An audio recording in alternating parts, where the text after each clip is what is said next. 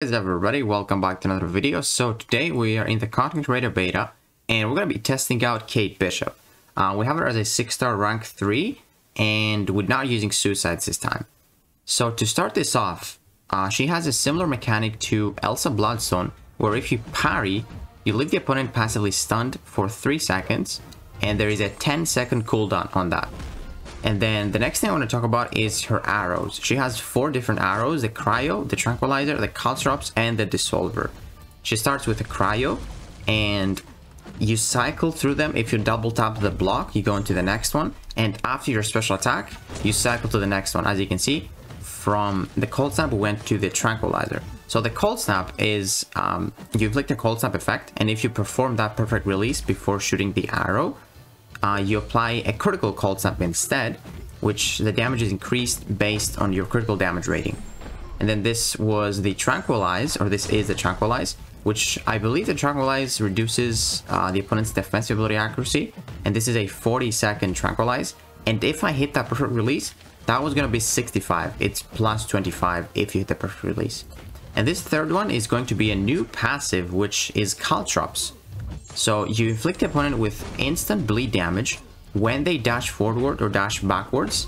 But if you hit the perfect release, when they throw a heavy attack, they take double that damage. So if you hit that perfect release, you want to be baiting a lot of heavy attacks to deal most of that damage. But keep in mind, this is instant bleed damage, so if the opponent is bleed immune, they're not going to take that damage. And then this last one is uh, we deal a fragility debuff, on them. And this increases our critical damage rating which is a good benefit for that cold snap and you reduce the opponent's uh, block proficiency by 40% and if you hit the perfect release you inflict a non-stacking sunder passive setting the opponent's critical resistance to zero.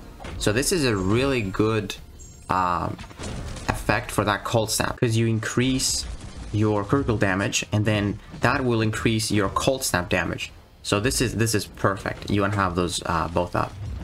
And again, you can cycle after your specials. Uh, when you pop a special, you go to the next one, or you double tap the block, which is a really cool mechanic to change it for what you want. This is a special two, where we're going to talk about in the next fight.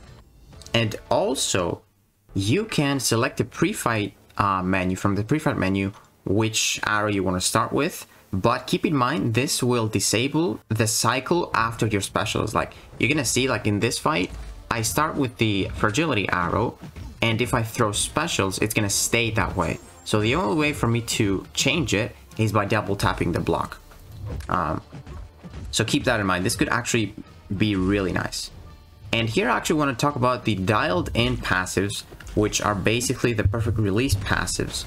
Uh, so those can go up to 2, but if you have her at SIG 200, it can go up to 5. It gives you one, and then it gives you another one for uh, 100 SIG stones. So you want to have Kate either 1 SIG, 100 SIG, or 200 SIG, so you can get the, the perfect release bonus from the Awaken ability. And those basically increase your duration uh, from the arrows, uh, arrow, arrow debuffs.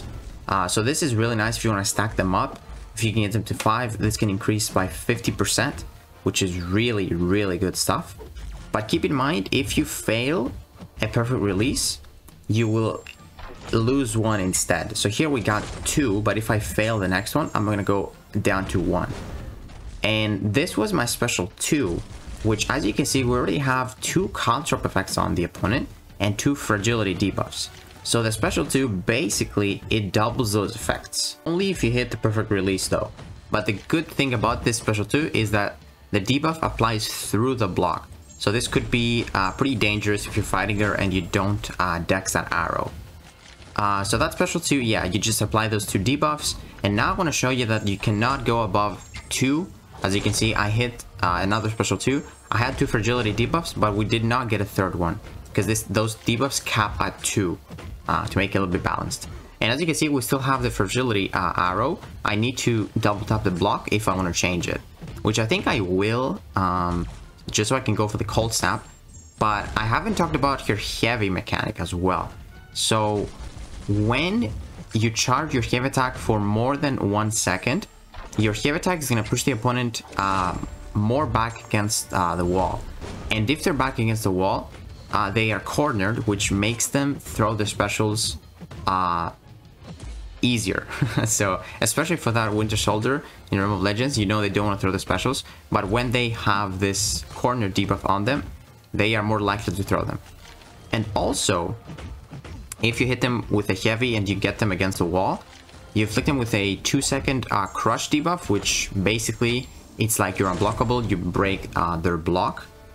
And then also, you refresh your arrow effects, uh, which is honestly really good. It's such an easy way. Uh, so let's take a look at this heavy. We push her really back against the wall. She's almost in the corner. And now when I hit her with, with heavy attacks, I constantly refresh my arrow effects, which is really sick. And this fight is going to be all about the special 3, which is a nice one. It actually uh, matters if you hit perfect 20% attack, which, not gonna lie, uh, when you want to showcase it, it's not as easy. so yeah, I did fail it once. Uh, this is, I think, my second try. So as you can see, she's cornered and she's constantly throwing specials. I love it. And this is special 3, we hit the perfect bonus. And maybe you can tell, but if you hit the perfect bonus, this counts as a perfect release. So if you don't hit the perfect release, you only get that cruelty passive. But if you hit the perfect release, you get the precision passive as well. And those count as arrow effects, so you can refresh them if the opponent uh, gets hit by heavy attack in the corner. And as you can see, now they are refreshed. So we get a nice cruelty and a nice precision buff, which are really potent as well. And right now I'm going to go for the fragility uh, passive so that I can, uh, so the fragility debuffs, so I can increase my critical damage rating and we can see some numbers. Uh, even outside the cold snap. Because dude, the cold snap hits super, super hard. I think it was taking for like 4,000 in a fight. And with a double cold snap. And then that Caltrops debuff so good. Like they take 10,000 uh, damage when they dash in or they throw heavy attacks if you have the perfect release. But after we sh showcase this fight, I want to go over the first fight and I explain uh, everything that's happening. So this is a cold snap debuff. Unfortunately, I had a late release. It is a bit tricky to get used to it. Uh, you need to use uh, Kate a lot, which I think she's really, really fun to use, man. The only thing is like she's not too suicide friendly, but she's such a good champ really satisfying to use as well. So now we're gonna go for the double Caltrops. And I love that special 2 man because you get that passive stun, which is really nice for you to like dash in and go for a heavy to refresh. And one thing I forgot to mention is that those passives, when you parry or after the special 2, those passive stuns, if you hit, them twice, they go away. So this is perfect because you can do one hit and then the heavy attack, and boom, they are refreshed. So yeah, we got two cold snaps, we got two fragility debuffs, uh, we got the caltrops and uh, the Sunder passive as well. So we are we are set up, and boom, that's it for Captain Marvel. So let's go over the first fight again, just so I can um, go over everything that's happening. So we have this cryo um, effect now, the cryo arrow. Uh, we hit a heavy attack there. As you can see, it pushed him really back against uh, the wall. You always want to have them against the wall so you can just easily refresh your arrows. And this is a special one. We're going to hit the perfect release. Boom, beautiful special one. And now we got a critical cold snap, which it does hit for 15,000, man. that is a 6 rank 3 without suicides.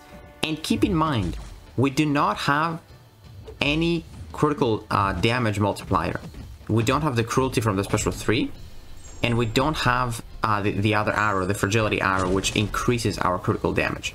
That is good stuff. And by the way, now that I'm thinking of it, uh, the Tranquilize arrow, if you double it and you get a perfect release, it is enough to shut down the opponent's defensibility actually to 100%, uh, which is really sick, honestly. I did not think of that. That's a nice heavy uh, stun. Go play that heavy. Uh, he was crushed so we bypass his block. There we go. Boom. Another uh, perfect release. This is Caltrop, so if he dashes uh, in or dashes backwards, he takes damage, and because we hit the perfect release, we do that. We do damage when he goes for heavy as well, heavy attack. And now we get a fragility debuff. Uh, we get that Sunder passive, so we reduce the opponent's uh, critical damage to zero, critical resistance to zero. Sorry. And yeah, Like, we're, we're stacking those debuffs up. As you can see, a lot of damage from Caltrops as well. Uh, so yeah, man, that is just great stuff. I don't know if I'm going to decide to go for another special one so that the Cold Snap takes for more. Yep, I am. Because now we got more critical damage. So as you can see, look at the difference. The first one was 1477, and this second one is 2137. So much more damage. It's like 35% more because we have this fragility debuff on him, which increases our critical damage. And dude, I honestly cannot wait to test her as a 6th to rank 4 and take her to Labyrinth. Labyrinth or Abyss. She is such a cool character, man. Like, I think I thought Viv Vision was gonna be my favorite, but I feel like Kate Bishop is is so so fun to use, and I knew she's she's gonna have massive damage from those cold snap effects and the caltrops. Wow, and I love how they make it so easy for you to like um, refresh those effects too, because they're always gonna be in the corner, which is great stuff. Uh, so yeah, let me know what you guys think about Kate Bishop. I think she's gonna be a sick champion. Even in Battlegrounds, man, like this critical damage multiplier you might uh, want to go for like the fragility debuff first uh, with a special 2 so you get double. And then one special one with the critical damage cold snap is gonna be game over I feel like. It's gonna take for like 4 or 5,000 especially as a 6 star rank 4 uh, but yeah guys let me know what you think about Kate Bishop. And if you enjoyed the video please give it a like subscribe and I will see you in the next one